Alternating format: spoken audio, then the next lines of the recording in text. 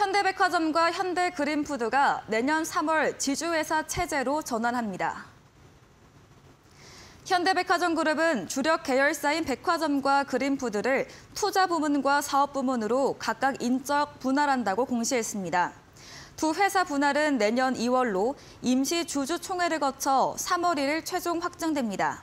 양사는 주력 사업회사의 자회사 편입, 유상증자 등 다양한 방안을 검토할 것으로 전망됩니다.